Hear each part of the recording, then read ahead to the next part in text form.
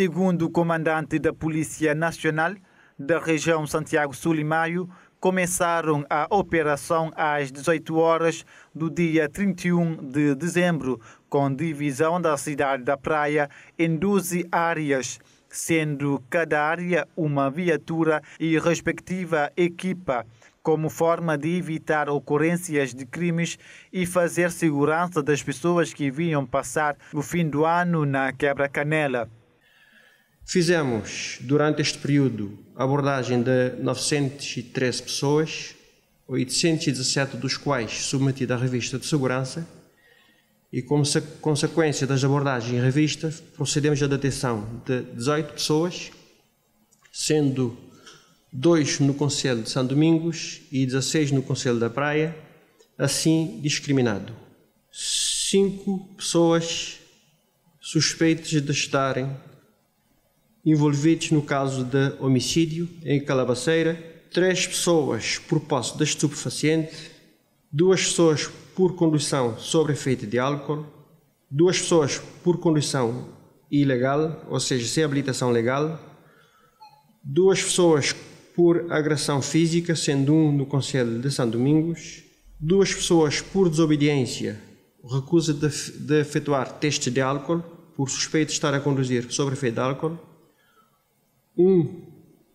por injúria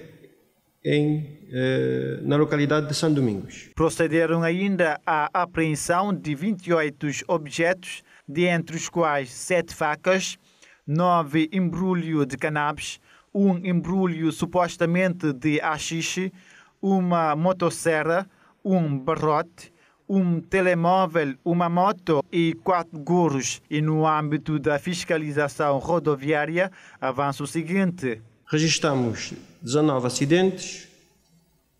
fiscalizamos 326 viaturas, sendo 17 suspeitas de se dedicarem à prática de fretes clandestinos. Apreendemos 19 viaturas particulares,